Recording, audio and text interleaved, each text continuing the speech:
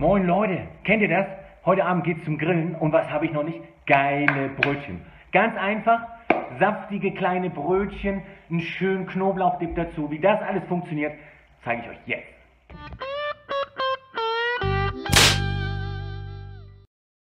Wir brauchen 300 Gramm Mehl, 130 Milliliter Wasser, dann brauchen wir einen halben Hefewürfel, das sind 20 Gramm circa, zwei Teelöffel Zucker, ein Teelöffel Salz und einen Esslöffel Olivenöl. Als allererstes nehmen wir die Hefe und bröseln die mal in so lauwarmes Wasser.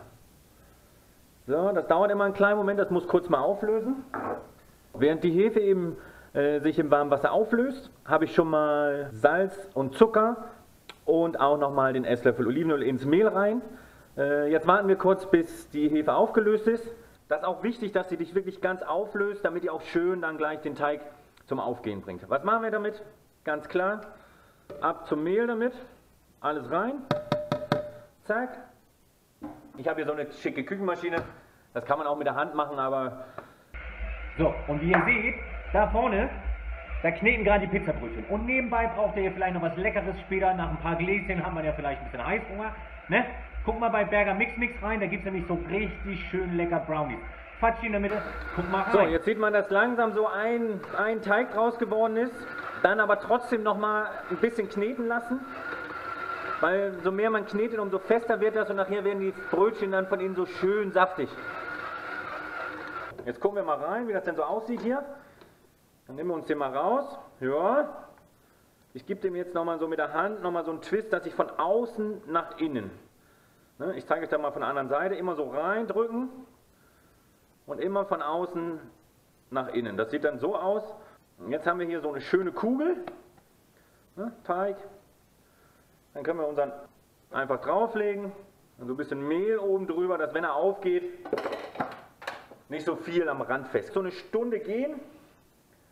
Äh, also die Größe sollte, wie man das so gerne hört, verdoppelt werden. Und wenn es dann verdoppelt ist, dann machen wir weiter damit.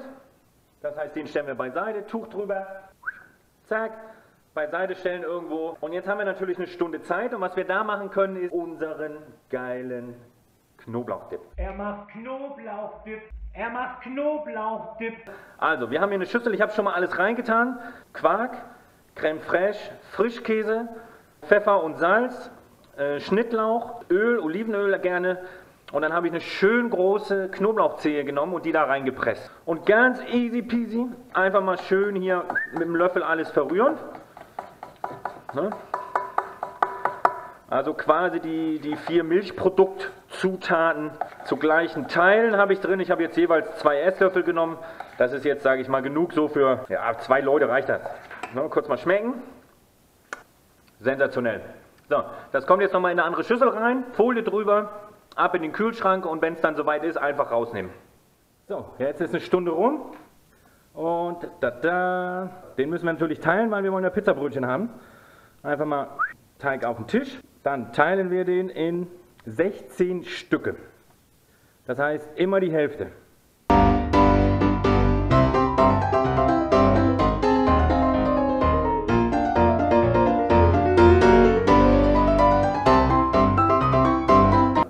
Wir jetzt kleine Bällchen.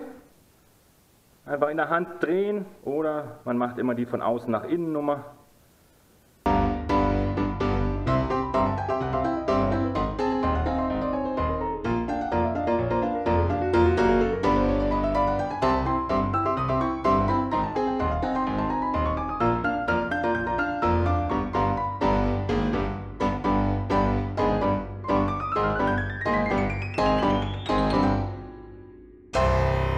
16 Stück. Die müssen jetzt noch mal kurz ein bisschen chillen, so 10, 15 Minuten. Dann gehen die noch mal so ein bisschen auf und dann ab in den Ofen. Ihr könnt jetzt schon mal den Ofen anmachen.